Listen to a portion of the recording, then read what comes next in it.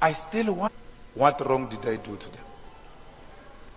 I went to the house of the deputy president, former deputy president of the EFF, and I said, I chose to come to your house after you wrote me a letter because I wanted you to have a home ground advantage. Two, you said to me in the letter, you never, you, you did not renew your membership, which means I'm not your president, you're not a member.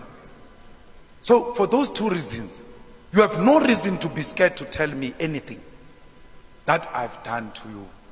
And I turned, looked at him, and I said, What did I do to you, Floyd? He said, Nothing.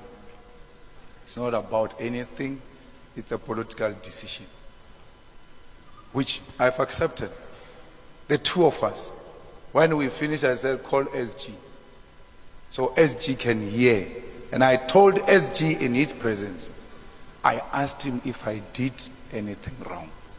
Why? Because I must not repeat this thing to another person. I said to him, You owe it to me. Ladies and gentlemen, my name is Dr. Jonnes, Why Not TV. Please subscribe. Bye for now till we meet again next time. Subscribe.